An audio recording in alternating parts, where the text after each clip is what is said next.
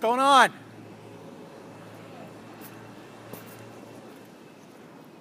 These guys hiring scabs? What are these guys up to? Well, we have a flyer here to explain why we're here. All right, I'll take one. Can I have one?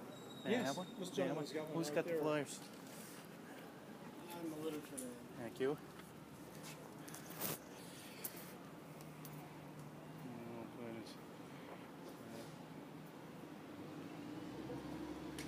Did they fire a bunch of people, or what's going on?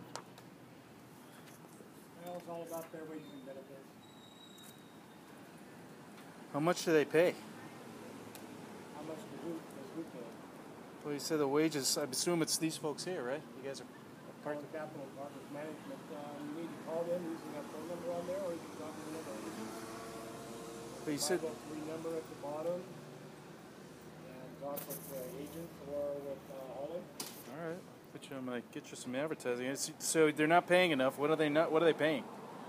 Well, that's why you have to refer yourself to that phone, those phone numbers. So you're protesting about how much they pay, but you don't know how much they pay. Well, Yeah. the, one of our representatives will answer that for you on the phone, sir. But you guys can't. No, all this is an informational banner, we're just here to give out the information, sir. Okay. It's funny that folks that are protesting the low wages can't tell me what the low wages are. Thanks a lot, you guys.